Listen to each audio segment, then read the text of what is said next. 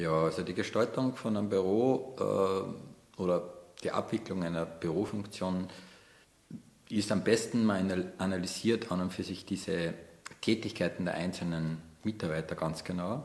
Also für das muss man auch wissen, wie die Firmenphilosophie generell ist, äh, auch das Produkt anschaut, wie das durchläuft durch das Ganze und wer mit wem zusammenarbeiten muss. Ja. Oder vielleicht auch Gruppen, die miteinander arbeiten müssen, damit man die Arbeitsabläufe, die Gehwege ja, einfach optimiert und für die Leute ideal macht, um das äh, Dinge abzuschotten, wo er halt sagt, der telefoniert viel oder der hat halt viel Verkaufsgespräche oder was auch immer es ist. Ja.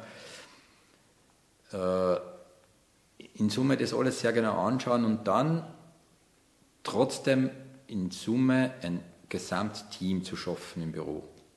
Bei allen, auch wenn es einzelne Räume sein sollten, ja, sollte das, das kann man ja alles sehr schön mit Glas und mit verschiedenen anderen Dingen in Szene setzen. Äh, man kann auch nicht sagen, es ist ein, ein Großraumbüro immer das Optimalste. Das ist einfach situations- oder firmenmäßig einfach unterschiedlich. Aber ich denke, wichtig ist, dass die in Summe wissen, sie gehören zusammen. Ja. Und wie gesagt, die Gehwege sind dort für die äh, zu etablieren, die sie brauchen. Nicht von A nach C zu gehen, sondern von A nach B. Und für das braucht man einfach eine genaue Analyse der Firma ja, und da Verstehen von den Mitarbeitern, was sie tun müssen und vor allem, was sie sollen. Und äh, das ist auch ganz wichtig in dem Bereich, also was wir an Erfahrung eigentlich immer haben. Manche Mitarbeiter wissen das gar nicht selber, was wirklich oder mit wem sie wirklich genau eigentlich kommunizieren sollen. Ne? Also es ist, äh, es ist da großteils eigentlich ein gutes Briefing auch von der Geschäftsleitung, Geschäftsführung notwendig sonst lässt sich das in Wahrheit nicht wirklich realisieren. Würde man manchmal nur den Mitarbeitern äh, Glauben schenken, würde man wahrscheinlich oft nicht funktionierende äh, Bürosituationen schaffen. Das ist nicht, weil die böse sind, sondern einfach, weil die eine andere Sichtweise drauf haben.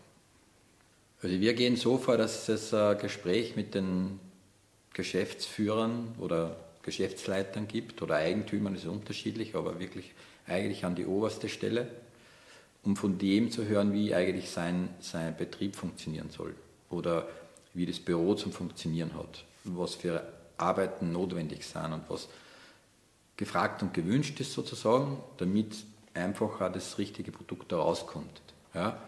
Lassen von dem ein Briefing erstellen, was das eben sein soll.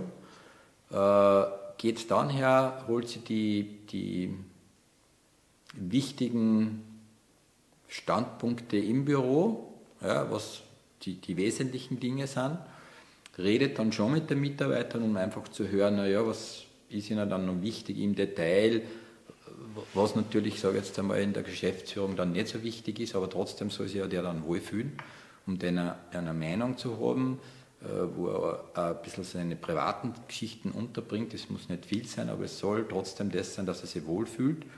Das sind letztendlich, wie gesagt, kleine Details, die kosten jetzt nicht mehr oder weniger, das sind halt Gespräche, äh, die man dann damit reinfließen lässt und dann muss man halt schauen, dass man diese Funktion, die halt gewünscht ist von den Eigentümern, von den Geschäftsführern, da auf den Nenner bringt. Ja, das soll aber sein, das ist eine Frage der Kommunikation, es ist jetzt nicht eine hochkomplizierte Angelegenheit. Zuhören, umsetzen, äh, mit den richtigen Ideen umsetzen und auch die richtigen Argumente bringen, warum man nicht so viel Stauraum braucht. Und ganz ehrlich gesagt hat noch nie jemand was dagegen gehabt, weil man die Wege verkürzt und das vereinfacht. Und das sind eigentlich so, also das ist die Vorgangsweise in der technischen Geschichte.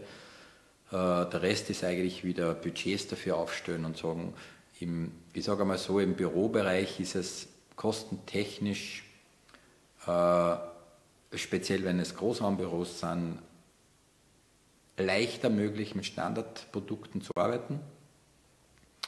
Äh, da ist meistens dann nur in den Stauräumen gefragt oder Besprechungsräume sind äh, ja, Videokonferenzräume, solche Dinge oder Empfangsräume oder Präsentationsräume, die sind dann äh, mit Standardsachen oft nicht so gut zu bestücken, aber so Schreibtischbereiche, also da kann man einen guten Mix rausfinden, äh, um da kostentechnisch gut äh, dabei zu sein, sage ich mal. Das ist letztendlich die Vorgangsweise von unserer Seite her. Was nur mit aufgenommen wird in den ganzen Bereich ist das, dass die, das Produkt der Firma eine wesentliche Rolle spielt. Also ich finde auch im Bürobereich soll das in irgendeiner Form sich widerspiegeln, sei es von Wandpaneelen, Wandbildern, Accessoires, Böden, unterschiedlich. Kommt einfach aufs Produkt drauf an. Aber die Leute sollen sich damit äh, identifizieren und sollen, sollen einfach das, was sie da machen, auch wirklich schätzen. Und das, darum sollen sie das auch sehen.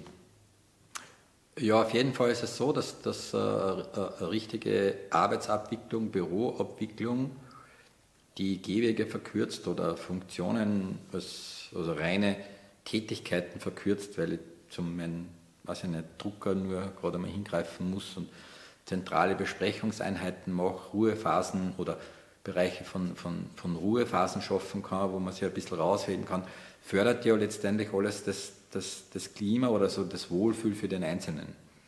Und somit äh, ist es auch für die Firmen ein Riesenvorteil, weil die Effizienz der Mitarbeiter größer ist, weil die Motivation einfach größer ist.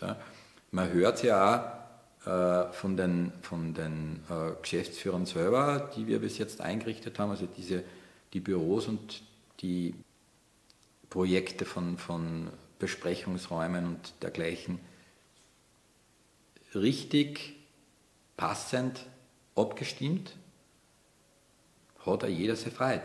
Und wenn einer Freude hat, macht das ja Arbeit einfach besser, als wenn er keine Freude hat. Das, das ist einfach so.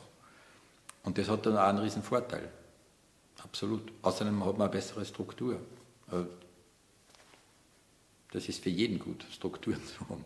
Und da natürlich umso wichtiger. Also da ist sicher natürlich die Struktur der, der, der Arbeit selber, der Tätigkeit selber nur ein bisschen höher zu stellen, als vielleicht wie in einem Privatbereich. Das ist auch wichtig, aber da ist es halt einfach merkbar, spürbar. Und wie gesagt, man kriegt den, den, den wirklich guten Response auch von, von den Mitarbeitern bis hinauf zur Geschäftsführung. Dass wenn das durchdacht ist, hat jeder einfach seine Freude.